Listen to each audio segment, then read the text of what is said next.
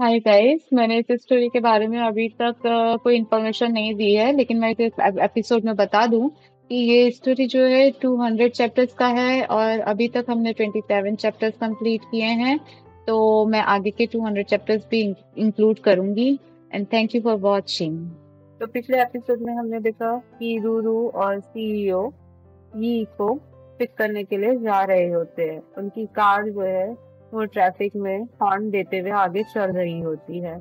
तभी वहाँ पर लाल बत्ती आती है और कार रुक जाती है। रूरू पूछता है, रूरू पूछता है कि हम क्या वहाँ पहुँच गए हैं? तो सीईओ बोलता है कि हम ऑलमोस्ट पहुँचने ही वाले हैं, ज़्यादा दूर नहीं है। और तभी रूरू सोचता है कि यदि ये लाल बत्ती ऑन हो जाएगी और ग्रीन हो जाएगी और हम सिग्नल को पार कर लेंगे तो हम फटाफट ई के ऑफ़िस में पहुँच जाएँगे। तभी सीईओ बच्चे को बहुत प्यार भरी नज़रों से देखता है और सीईओ कहते हैं कि आज डिनर में फ्राइड चिकन है जो हम खाएँगे करके और वो ये भी बोलता है कि हम जब घर जाएँगे तो हम फ्राइड चिकन जितनी हो सक, जितनी जल्दी हो सके उतनी जल्दी खाएँगे और हम ही को भी पिक कर लेंगे। बच्चे को फ्राइड चिकन का नाम सुनते से उसकी आँखों में चमक आ जाती है और वो बहुत खुश हो रहा होता है। कि वो आज फ्राइड चिकन खाएगा। उसे हर जगह फ्राइड चिकन ही दिख रहा होता है वो बहुत हैप्पी हो जाता है और ज़ोर से बोलता है कि फ्राइड चिकन सीईओ ये देख के मुस्कुराता है कि बच्चा कितनी जल्दी हैप्पी हो गया है। अब वो ऑरेंज एंटरटेनमेंट इंडस्ट्री के पास पहुँच ही चुके होते हैं और तभी जो ऑरेंज इंटरटेनमेंट इंडस्ट्री है, वहाँ के मैनेजर आते हैं और ये के कंधे पे हाथ रखते हैं। ये थोड़ा चौक जाता है ये देख के। और मैनेजर बोलते हैं कि यंग मैन तुमने बहुत अच्छा काम किया है कि तुम्हारा सिलेक्शन हो गया है करके। मुझे तुम पर विश्वास है। और मैनेजर और लाव और मिसेस जैंग मिलके तालियाँ बजाते हैं। और जो मैनेजर है वो उसको बोलता है, तुम अच्छा काम करो और मैं तुम पे बहुत विश्वास करता हूँ करके। ई बोलता है कि हाँ मैं बहुत मन लगा के हार्ड वर्क करूँगा। और मैनेजर बोलता है ठीक है जो मीटिंग है वो अब खत्म हो गई है अब तुम जा सकते हो। और जो बाई कंपनी के लोग हैं वो तुमसे कभी भी मतलब मिल मिलने आएँगे और आ, एक बार तो तुम वैसे भी मिल चुके हो। और मैं डेट को सेटल करके तुमको फ़ोन करूँगा आगे की सारी बातें तो तुम अपना फ़ोन जो है उसे हमेशा ऑन रखना और बंद मत करना। और तभी ये बोलता है ठीक है मैं आ, समझ गया हूँ और मैं हमेशा रेडी भी रहूँगा। और तभी मिसेस जैन बोलती है कि ठीक है अब तुम घर जाओ रेस्ट लो मैं तुम्हें कॉल करूँगी। ये मिसेस जैन को थैंक्स कहता है और जाने की तैयारी कर रहा होता है। तभी वो बोलती है कि लेकिन क्या हुआ है? तुम्हारी तबीयत कुछ ठीक सी नहीं लग रही है। क्या कोई प्रॉब्लम है? और तुम्हें थोड़ा रेस्ट भी लेना चाहिए। ये सोचता है कि हेल्थ मैनेजमेंट भी जो बहुत है वो इम्पोर्टेंट होता है एक एक्टर के लिए तो उसे अपने हेल्थ पे ध्यान देना चाहिए। और तभी मिसेज जैन बोलती है कि उम्मीद है कि जब हम दोबारा मिलेंगे तो तुम थोड़ा ठीक मुझे दिखाई दोगे। और यही बताता है कि हो सकता है मैं इससे अच्छा नहीं दिख रहा हूँ क्योंकि कल मैं ठीक से सोया नहीं था तो आज मैं रात को जल्दी बिस्तर पे जाऊँगा और सम, सो जाऊँगा। मिसेज जैन बोलती है, ठीक है, अब तुम जा सकते हो। ये बोलते हैं, ठीक है, हम नेक्स्ट टाइम मिलेंगे. और एंटरटेनमेंट इंडस्ट्री के बाद सीईओ की गाड़ी पहुँच चुकी होती है। और जब ये गाड़ी पहुँचती है तो बहुत सारे लोग वहाँ खड़े होते हैं और दो लोग मिलकर बात कर रहे होते हैं कि सीईओ जो है वो कितना हैंडसम है और उसकी जो गाड़ी है वो भी कितनी महँगी है करके। सीईओ का जो सेक्रेटरी है, वो दरवाज़ा खोलता है कार का और सीईओ कार में से बाहर निकलता है। और सीईओ सोचता है कि मैं बच्चे को उतार लूँगा और उसे अपनी गोद में उठा लूँगा। लेकिन बच्चा पहले ही गाड़ी में से निकल के आगे की तरफ़ भागने की तैयारी में होता है और सीईओ के हाथ एक बार फिर खाली रह जाते हैं क्योंकि उसकी गोद में तो बच्चा आया ही नहीं। सीईओ भी बच्चे के पीछे पीछे चलने लगता है तेज़ी से। और तभी वहाँ दिखाते हैं कि जो मेल रेस्ट रूम है, वहाँ पर ही जो है, वो बैठा हुआ है और अपना फ़ोन देख रहा होता है और सोच रहा होता है कि वो क्या करे और उसे किसी भी तरह अपने और सीईओ के बीच में जो चल रहा है, उसे खत्म करना होगा। तो वो उसको कुछ रूरू के बारे में डाउट रहता है, उसकी आइडेंटिटी के बारे में। तो वो एक फ़ोन पे फ़ोन करता है और ये फ़ोन उसके दोस्त के पास जाता है। उसका दोस्त मीटिंग में जाने के लिए तैयार हो रहा होता है और अपना पर्सनल मेकअप करवा रहा होता है।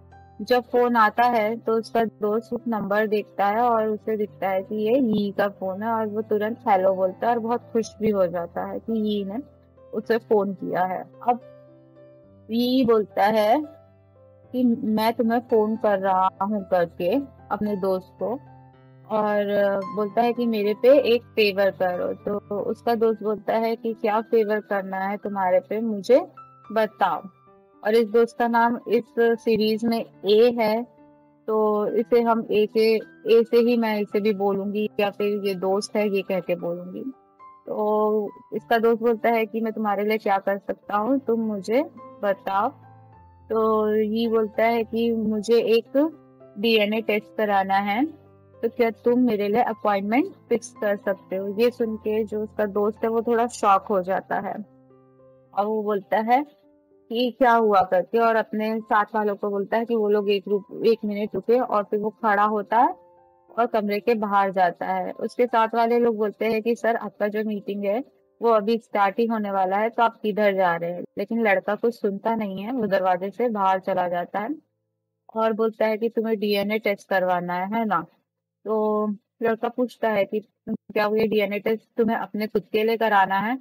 तो ये फ़ौरन अपने दोस्त को मना कर देता है कि नहीं नहीं, ये मुझे अपने लिए नहीं कराना है। ये मेरा एक फ्रेंड है जो कि उसके पास एक बच्चा है और वो उसका बायोलॉजिकल फादर है।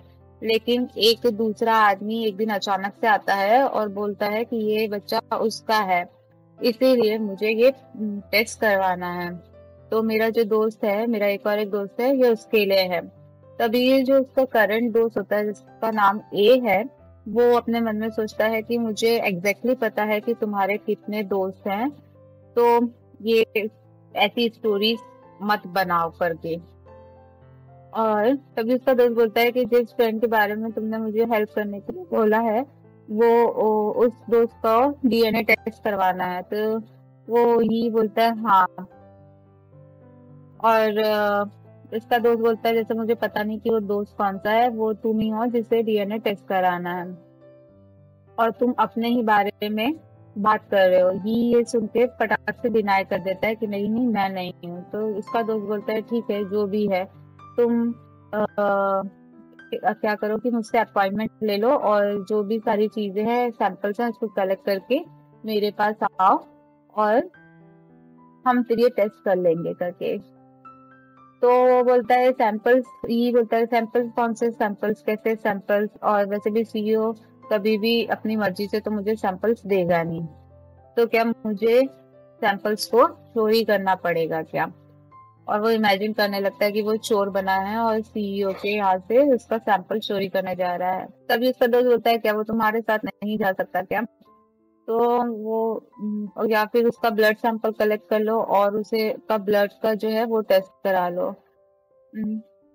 तो ये बोलता है कि ये भी नहीं हो सकता, क्योंकि ब्लड सैंपल के लिए तो उसे, उसके हाथ में सुई टोचनी होगी और फिर उससे ब्लड लेना होगा तो ये तो बिल्कुल पॉसिबल नहीं है। तो फिर वो बोलता है उसका दोस्त, ठीक है, फिर क्या तुम उसके नाक में से म्यूकस ले सकते हो? तो उससे मतलब डीएनए टेस्ट हो सकता है। तो ये वापस इमेजिन कर लेने लगता है कि उसको सैंपल लेना है करके। और वो सोचता है ये भी नहीं हो सकता। तो उसका दोस्त बोलता है तो फिर कैसा रहेगा कि तुम उसके बाल का एक पीस ले आओ तो हम उससे डीएनए टेस्ट कर लेंगे। तो ये बोलता है कि उसका घर तो इतना क्लीन रहता है कि उसमें एक भी बाल नहीं मिलेगा। तो क्या कोई और ऐसा इजी तरीका है जिससे कि मैं मतलब कलेक्ट कर सकता हूँ सैंपल तो लड़का बोलता है उसका दोस्त, ठीक है तो तुम सिगरेट बट ले आओ, उससे तो हो ही जाएगा। तो ये बोलता है कि लेकिन सीईओ स्मोक नहीं करता है। तो लड़का एक और एक तरीका बोलता है, जो कि आखिरी तरीका है, और वो कहता है कि या तो तुम इसे ले आओ, या फिर इस टेस्ट के बारे में तुम भूल जाओ। तो ये बोलता है, नहीं नहीं, मैं करूँगा, बिल्कुल करूँगा, करके, लेकिन मुझे तरीका बताओ। और वो अपने टॉयलेट सीट पे खड़ा हो जाता है। और तभी उसको सुनाई देता है कि इसको एक वैसी चीज़ चाहिए जो सिर्फ़ सीईओ ही दे सकता है मतलब पर्सनली उसकी पर्सनल चीज़ है ये। ये आप खुद देख के समझ सकते हैं। तभी जो उसका दोस्त है, वो वापस उस चीज़ का नाम रिपीट करता है। लेकिन ये चीज़ तो ई ई बिल्कुल भी नहीं ला सकता है और एकदम से नो कह देता है। और बोलता है, ये तो पॉसिबल ही नहीं है। तो लड़का बोलता है कि ठीक है, फिर जब तुम कुछ नहीं कर सकते तो जैसा चल रहा है वैसे ही चलने दो। और ये टेस्ट को दोबारा करने के बारे में सोचो भी मत। और ऐसा कह के वो फ़ोन रख देता है, क्योंकि उसकी मीटिंग भी होती है। और ये सोच रहा होता है कि उसे ये सब कुछ फेस क्यों करना पड़ रहा है? क्या सब कुछ आसान नहीं हो सकता है? सीईओ और बच्चा ये के ऑफ़िस में पहुँच चुके होते हैं और बच्चा बोलता है एक्सक्यूज मी मैं ये को देख रहा हूँ। क्या आप मुझे बता सकते हैं कि ये कहाँ पे है? जो रिसेप्शनिस्ट होती है, वो सोचती है कि कौन बोल रहा है और वो इधर उधर देखने लगती है क्योंकि उसे कोई दिखाई नहीं देता। बच्चा इतना छोटा है कि वो नीचे है और वो टेबल के ऊपर नहीं देख सकता और सेक्रेटरी सॉरी रिसेप्शनिस्ट को वो नीचे नहीं दिखाई देता। तभी सीईओ पीछे से आ रहा होता है और बच्चा बहुत कोशिश कर रहा होता है कि रिसेप्शनिस्ट उसको देख ले। सीईओ बच्चे को बहुत प्यार भरी नज़र से देखता है कि रूरू किस तरीके से बिहेव कर रहा है। तभी वो रूरू को अपनी गोदी में उठाता है और ऊपर लेके आता है। तभी रिसेप्शनिस्ट देखती है और थोड़ा सा चौक जाती है। और फिर बच्चा बोलता है कि हम यहाँ ये को देखने के लिए आए हैं। तो रिसेप्शनिस्ट बोलती है कि आपके पास अपॉइंटमेंट है क्या? तो बच्चा सीईओ के थोड़ा पास जाता है और उसका गले में हाथ डाल के पूछता है कि अपॉइंटमेंट क्या होता है और क्या हमारे हमारे पास अपॉइंटमेंट तो नहीं है, क्या हम बिना अपॉइंटमेंट के ई को नहीं देख सकते हैं क्या? सेक्रेटरी बच्चे की क्यूटनेस को देख के थोड़ी सी वो हो जाती है, शांत हो जाती है और बोलती है कि मैं ऐसे में कैसे इस बच्चे को रिफ्यूज कर सकती हूँ करके, मैं इसे रिफ्यूज नहीं कर सकती। तभी से ही अपनी जेब में से कार्ड निकालता है और रिसेप्शनिस्ट को बोलता है कि ये मेरा कार्ड है और टेबल पे कार्ड को रखता है, जिस पर लिखा होता है थैंक यू ग्रुप और दूसरी तरफ़ ये सोच रहा होता है कि blood test oral mucus hair और सिगरेट बर्ड ये सब तो लेना बहुत ही ज़्यादा मुश्किल लग रहा है। और मैं ये नहीं कर सकता हूँ। और साथ में जो आखिरी ऑप्शन है, वो तो और भी ज़्यादा मुश्किल है। ये तो बिल्कुल भी पॉसिबल नहीं है। और इसी के साथ उसको समझ में नहीं आता है कि वो क्या करे और उसका पूरा चेहरा जो है वो लाल हो जाता है। और वो ये सोच के लिफ्ट से निकलता है और तेज़ी से भागने लगता है। वो सी और रूरू के पीछे से ही भागता हुआ निकलता है। लेकिन सी और रूरू को इस वक्त नहीं पता होता है। अभी भी ये लोग रिसेप्शनिस्ट से बात कर रहे होते हैं और सीईओ सोच रहा होता है कि क्या किया जाए आगे। और तभी ई की नज़र इन दोनों पे पड़ती है और ये बोलता है कि मुझे लगता है, मुझे वहम हो रहा है कि मैंने यहाँ पर सीईओ को देखा है। मुझे शायद सोने की ज़रूरत है क्योंकि मुझे ऐसे भ्रम हो रहे हैं। तभी सेक्रेटरी बोलती है कि आ, एक मिनट रुकिए मैं आ, मिस्टर ली को फ़ोन करती हूँ कि वो नीचे आइए। तो जो सीईओ बोलता है कि नहीं हम आ, मिस्टर ली को नहीं देख रहे हैं हम ये उनके लिए आए हैं। सेक्रेटरी को समझ में नहीं आता कि क्यों लोग बार बार ये उनके लिए आ रहे हैं और वो भी सब बड़ी हस्तियाँ हैं तो आखिरकार चल क्या रहा है? इसी बीच में रूरू ये को देख लेता है और देखता है कि ये जो है वो तेज़ी से भागता हुआ जा रहा है। और तभी वो नीचे उतरता है सीईओ की गोद से और ये का पीछा करने के लिए तैयार हो जाता है। तो सेक्रेटरी रिसेप्शनिस्ट बोलती है कि आ, मैं कुछ करती हूँ करके लेकिन सीईओ बोलता है कि नहीं कोई ज़रूरत नहीं है हम जिसे देख रहे हैं वो हमें मिल गया है। रू तेज़ी से आगे चलने लगता है और तभी रिसेप्शनिस्ट बोलती है कि नहीं एक सेकेंड रुकिए मिस्टर लेकिन दूसरे लोग आते हैं और रिसेप्शनिस्ट से बोलते हैं कि तुम बहुत नर्वस लग रही हो क्या बात है और ये कौन है? रिसेप्शनिस्ट हाँ अभी भी हाथ में वो काले रंग का कार्ड लेके खड़ी होती है और बो, बोलती है कि ये जो है वो पैंग ग्रुप के सीईओ हैं वो यहाँ पर आए हैं। तभी लोग बोलते हैं क्या कह रही हो कि वो यहाँ आए वो भी फिजिकली वो यहाँ पर आए हैं।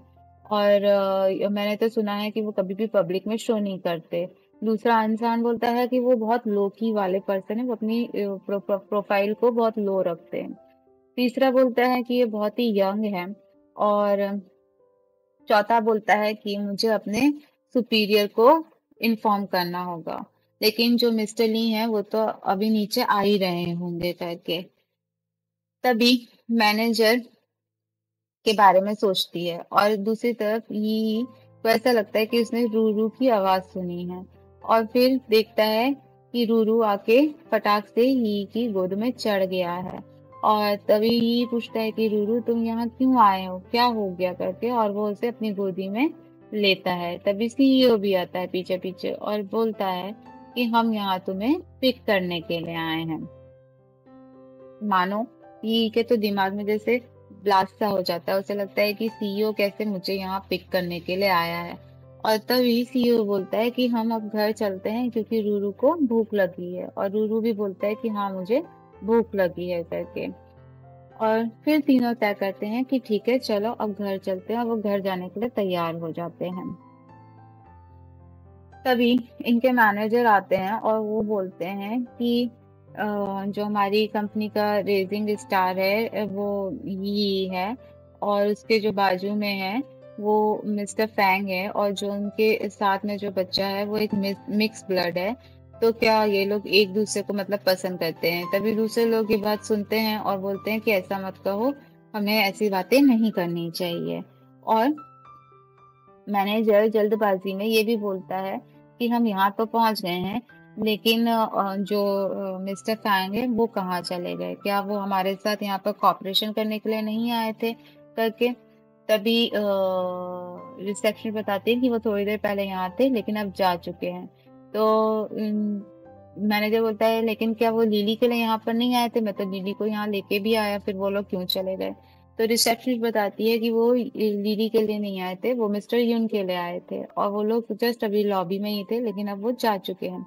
तो मैनेजर बोलता है कि फिर से ये यून, तब ये यून के बारे में क्यों पूछ रहे हैं? और जो लड़की है, लिली, वो सोचती है कि ऑलरेडी बाई कंपनी के लोग आए थे यून के बारे में पूछने के लिए, और ये यून ने मेरा जो चांस आने वाला था, वो उसने ले लिया।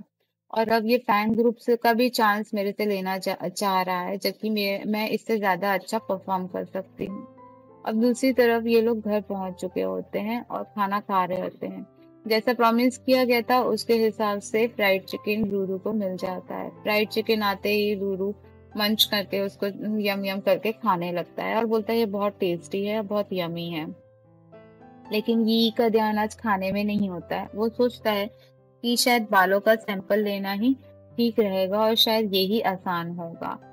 और मैं उसके बेडरूम में किसी तरह चुपके से पहुँच जाऊँगा। इससे पहले लोग उसका बेडरूम साफ़ करें, मैं वहाँ से एक बाल का टुकड़ा ले लूँगा करके। तभी रूरू बोलता है कि उसे पॉर्क खाना है, जो बहुत अच्छा दिख रहा है। और बोलता है, मुझे ये पॉर्क चाहिए। तभी बोलता है, ठीक है, मैं तुम्हारे लिए पॉर्क उठाता हूँ। और वो पॉर्क उठाता है अपनी चॉपस्टिक से। तभी सीईओ भी चॉपस्टिक से मीट उठा रहा होता है।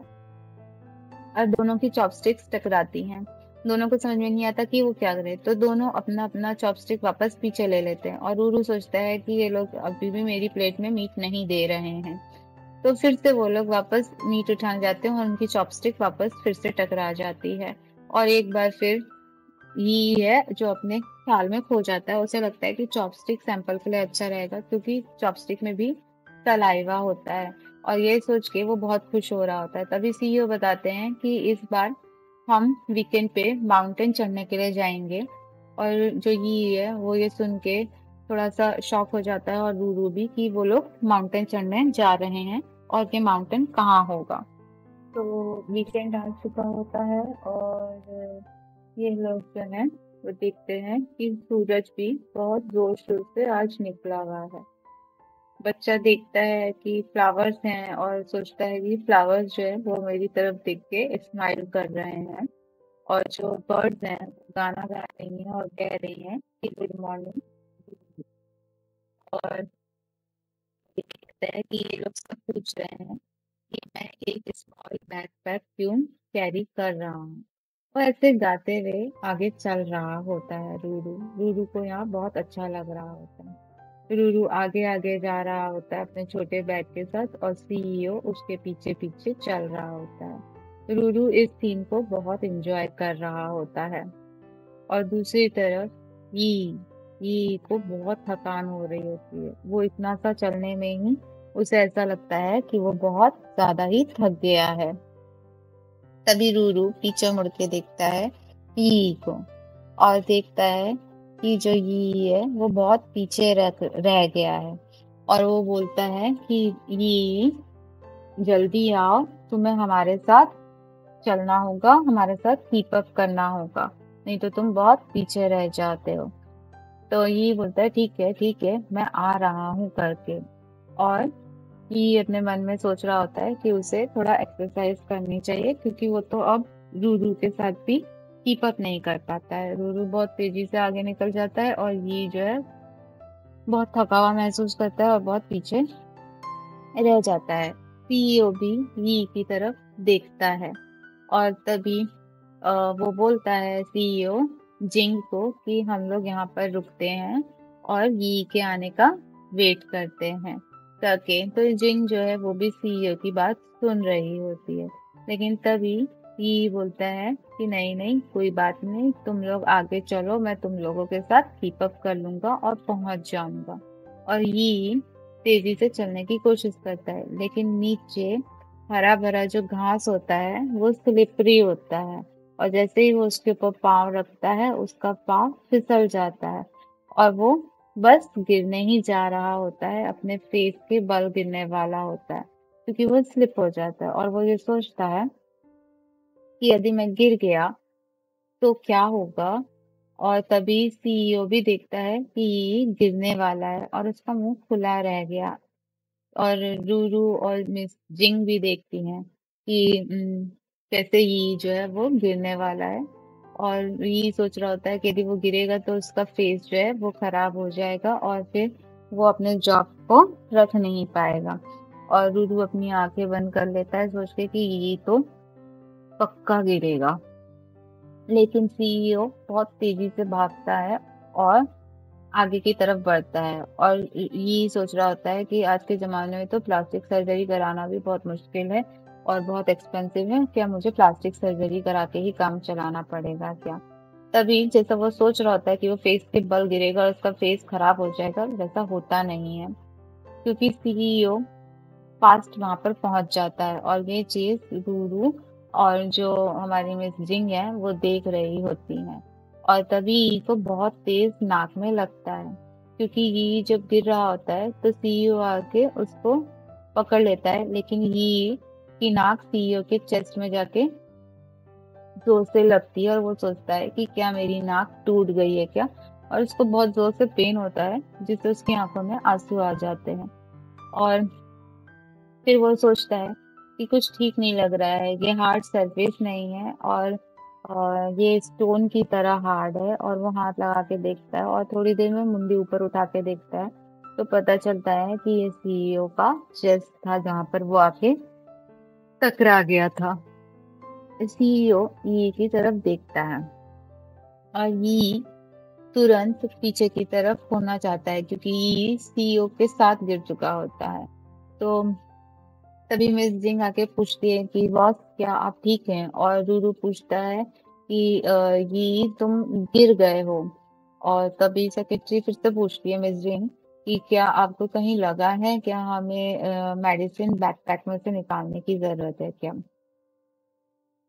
और तभी सीईओ पूछता है, क्या तुम ठीक हो? तुम्हारी नोज़ को क्या हुआ है? रूरू बोलता है, तुम्हारी नोज़ जो है वो लाल हो गई है। ये लोग सब मिलके यी की नोज़ को देख रहे होते हैं और यी बोलता है कि मैं ठीक हूँ, मैं ठीक हूँ, जबकि उसकी नाक से थोड़ा खून आने लगता है। और तभी रूरू बोलता है कि तुम्हारी नाक जो है वो ब्लीडिंग कर रही है। और तभी सीईओ जाते हैं और जाके हम हमारे ई को चेक करने लगते हैं और बोलते हैं कि कॉटन लगाने से ब्लीडिंग रुक जाएगी। फिर भी वो अच्छे से ई की नाक को चेक करते हैं और देखते हैं कि नाक टूटी नहीं है, बहुत सीरियस तरीके से देख रहे होते हैं उसकी नाक को और बोलते हैं कि तुम थोड़ा गहरी सांस भी लो और उसकी नाक का बहुत अच्छे से एग्जामिन करते हैं वो।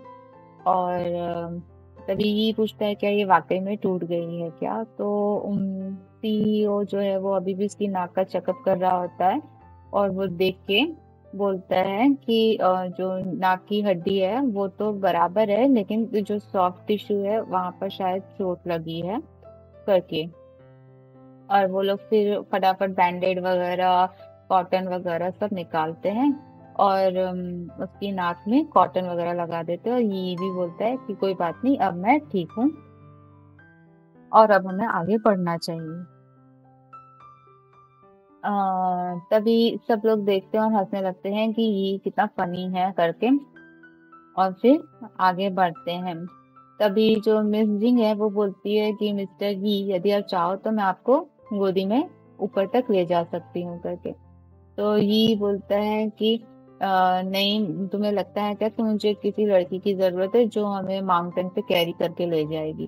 तभी सी को फ्लैशबैक होता है कि एक बार वो किसी परिस्थिति में पहुँच गए थे तब सीईओ को और मैनेजर को उसकी सेक्रेटरी ने कैसे उठा के सिटी तक पहुँचाया था? और तभी सीईओ ये भी सोचता है कि इस आदमी को पावर के बारे में कुछ भी नहीं पता है। और ये बोलता है, नहीं नहीं, मैं चल सकता हूँ। और मिस जैंग बोलती है कि जो आगे का पाथ है मतलब जो रास्ता है, वो और भी ज़्यादा खराब है तो क्या वाकई में आप अपने आप चल सकते हैं क्या? तभी सीईओ सोचता है कि इनकी बात को कैसे रोका जाए और वो डिसीज़न लेता है कि मिस जिंग आप रूरू को कैरी करो और मैं यहाँ से यी के साथ आऊँगा, मैं यी को लेके आऊँगा। तो मिस जिंग जो है वो बहुत खुश हो रही होती है कि वो बच्चे को कैरी करेंगी और बच्चा भी उसकी गोद में बहुत खुश हो रहा होता है और तितली पकड़ रहा होता है। और पीछे पीछे मिस्टर सीईओ और यी साथ में आ रहे होते हैं। सीईओ ने जिंग का हाथ यी का हाथ पकड़ा होता है और उसको खींच के आगे की तरफ़ ले जा रहे होते हैं। वो फिर से स्लिप होने ही वाला होता है कि सीईओ उसको फिर से स्टडी खड़ा कर देता है करके। और कैसे तैसे उसको वापस स्टडी करता है और बोलता है कि तुम्हें थोड़ा केयरफुल रहने की ज़रूरत है। तो हमारे जो यी है वो बोलते हैं, ठीक है ठीक है, मैं आगे से केयरफुल रहूँगा। और फिर एक बार सीईओ उसका हाथ पकड़ता है और उसे अपने साथ ले जाता है। और तभी सीईओ बोलता है कि हम लोग बस पहुँचने ही वाले हैं, अभी ज़्यादा समय नहीं लगेगा। और ये सोच रहा होता है कि ये कितना अजीब है। और ये जो है कभी गुस्से में रहता है, कभी अच्छा रहता है। और अभी ये जो है, मेरी केयर भी कर रहा है। लेकिन मैं जो हूँ, इसकी बातों में नहीं आऊँगा। नहीं तो ये मेरे जो गार्ड्स हैं उसको लो कर देगा और मैं इसके जाल में फंस जाऊँगा तो मैं इसकी बातों में आने नहीं वाला हूँ करके। और सीईओ और ये ये एक साथ जा रहे जा, चलना जारी रखते हैं लेकिन ये को थोड़ा अनकंफर्टेबल महसूस होता रहता है। घर दिखाया जाता है जो कि बहुत सुंदर है और ये ग्रैंड फादर का घर होता है जहाँ ये लोग वीकेंड के लिए आने वाले होते हैं। अब ये लोग यहाँ पहुँच चुके होते हैं और मिस जैंग और रूरू बोलते हैं कि ये घर बहुत ही सुंदर है और तभी ग्रैंडफादर भी आके बोलते हैं कि चलो चलो अच्छा हुआ जो तुम लोग आ गए हो। और ग्रैंडफादर बड़े खुश हो रहे होते हैं और खुशी खुशी में बोलते हैं कि अच्छा तो ये है मेरा ग्रैंडसन करके और वो अपने हाथों से ताली भी बजाते हैं और खुशी के मारे हंस पड़ते हैं। और फिर वो ये भी बोलते हैं कि जो बच्चा है, उसका जो सिर पे बाल है, वो बहुत ज़्यादा बाल हैं और बहुत घने बाल हैं और उसके कान भी बहुत सुंदर है। बच्चा ग्रैंडफादर को बड़ी बड़ी आँखों से देख रहा होता है। और तभी ग्रैंडफादर ये भी बोलते हैं कि बच्चा जो है, उसका राउंड फेस है प्लम चिन है और काफ़ी गोल मटोल सा है। और बच्चा जो है, वो काफ़ी चुभी हुई है, उसके शोल्डर्स भी वाइड हैं, उसका बेली भी थोड़ा सा बाहर निकला हुआ है। इन शॉर्ट, बच्चा जो है, वो बहुत अच्छा गोल मटोल सा गोलू मोलू सा है। और तभी ग्रैंडफादर को ध्यान में आता है कि बच्चा इतना सुंदर है तो इसके जो फ्यूचर है, वो भी बहुत अमेजिंग है और इसके ऊपर गॉड की जो ब्लेसिंग्स हैं, वो भी बहुत ज़्यादा है। वो अपना हाथ रगड़ते हैं और प्रे करते हैं कि जो तुम भविष्य में बहुत रिच बनो और तुम्हारा ये जो नया साल है, वो बहुत अच्छा जाए और जो गुड लक है, वो आए और बैड लक जो है, वो चला जाए और इसी के साथ वो उसे हैप्पी न्यू ईयर विश करते हैं। और तभी ग्रैंड फादर ये भी सोचते हैं कि इसका जो फ्यूचर है, वो बहुत ही ज़्यादा अच्छी चीज़ों से भरा भरा हुआ है और ये जो बच्चा है, ये बहुत ही अच्छा बच्चा है। बच्चा सोचता है कि ग्रैंडफादर उसको कॉम्प्लीमेंट दे रहे हैं और वो बहुत खुश हो जाता है ये देख के। और तभी ग्रैंडफादर पूछते हैं कि तुम कितने साल के हो? कौन कौन से स्कूल में जाते हो? और तुम कहाँ से हो करके?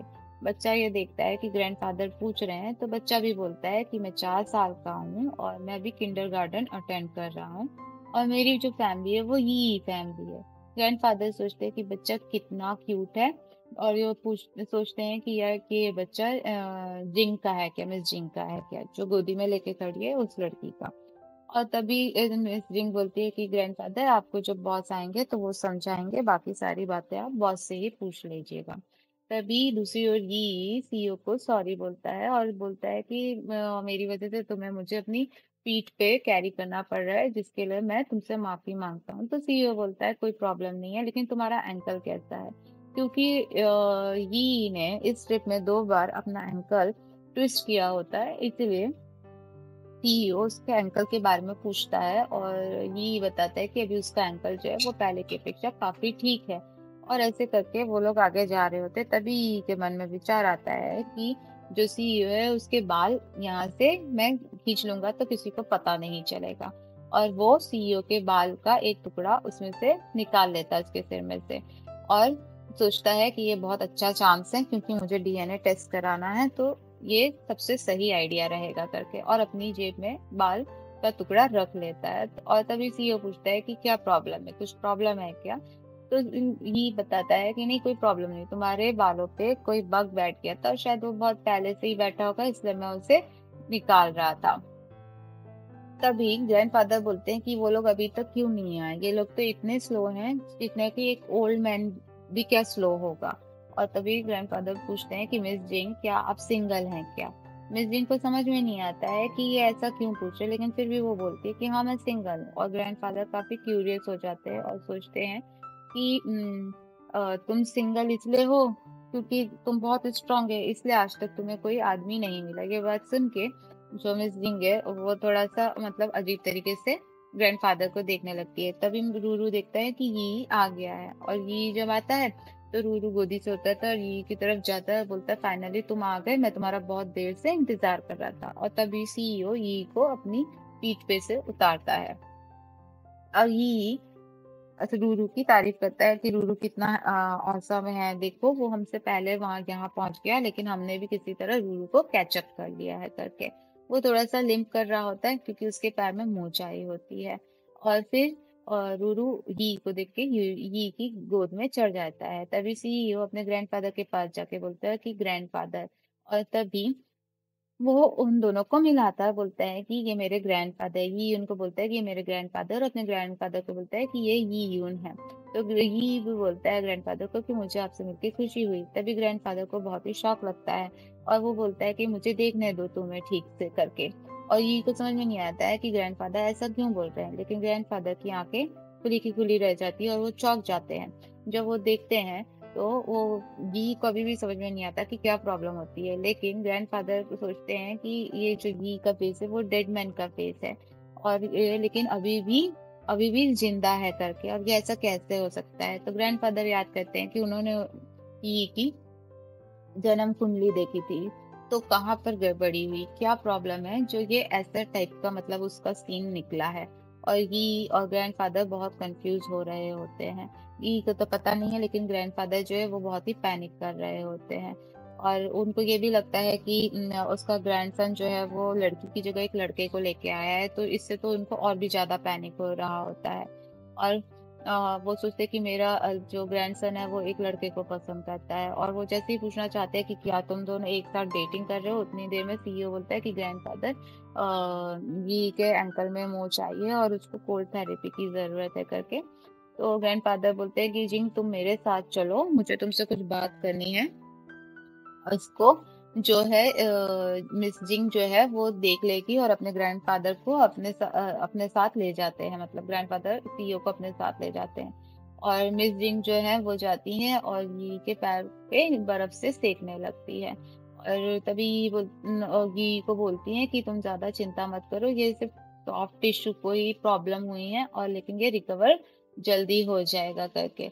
तो ये उसको थैंक यू बोलता है और बोलता है कि आप मुझे ये बुला सकती हैं करके। तभी रूरू आता है और ये का शर्ट खींचने लगता है कि मुझे जो है सुसु आई है और मैं बहुत देर तक होल्ड नहीं कर सकता हूँ। और ऐसा कह के वो बहुत हिलने डुलने लगता है क्योंकि उसे बहुत ज़ोर से सुसु आई है। तभी ये बोलता है कि ठीक है, मैं तुम्हारे साथ चलता हूँ। तभी जो मिस है, वो बोलती है, तुम रुको जो बाथरूम है, वो राइट साइड में है। मैं इसे ले जाती हूँ, तुम यहाँ पर बैठो। लेकिन रूरू को इतना इंतज़ार होता ही नहीं है। रूरू बोलता है, ऐसा नहीं है कि मुझे राइट साइड नहीं पता। और वो भागने लगता है। इससे पहले कोई कुछ बोले, वो भाग चुका होता है। वो जब पहुँचता है तो वो लेफ़्ट और राइट में कंफ्यूज हो जाता है और वो राइट की जगह लेफ़्ट में चला जाता है। वो बहुत देर तक बाथरूम को ढूंढता है, लेकिन फिर भी उसे कहीं बाथरूम नज़र नहीं आता।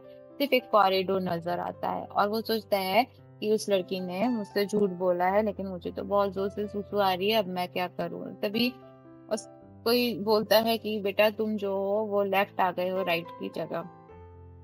दूसरी तरफ़ सीईओ जो है, वो अपने ग्रैंडफादर के साथ बैठ के चाय पी रहा होता है। ग्रैंडफादर अपने ग्रैंडसन को कुछ बोलने ही वाले होते हैं, कि एक आवाज़ आती है और बोलते हैं कि तुम तुम मैंने सुना है कि तुम एंगेज हो और ये एंगेजमेंट मैंने ही तुम्हारी तय की थी। बच्चा ये सुन लेता है एंगेजमेंट के बारे में कुछ बात कर रहे हो और एंगेजमेंट को वो इन ग्रेज बोलता है, जैसे टाइगर को डैगर बोलता है, वैसे गलत प्रोनाउंस करता है। और उसको एकदम से लगता है कि एंगेजमेंट होने वाली है, फिर भी ये मेरे घर में रहता है करके उसको एकदम से कांपी उठती है और फिर धीरे से उसको सुसु भी हो जाती है। जब उसे सुसु हो जाती है तो वो नीचे देखता है कि उसने सुसु कर दी है और फिर वो थोड़ा उदास हो जाता है और धीरे से वो रोने लगता है कि उससे सुसु हो गई। वो बहुत ज़ोर से बुक्का फाड़ के रोता है और सीईओ के हाथ से कॉफ़ी का कप, जो है चाय का कप, वो गिर जाता है और कॉफ़ी जो है नीचे ड्रिप होने लगती है।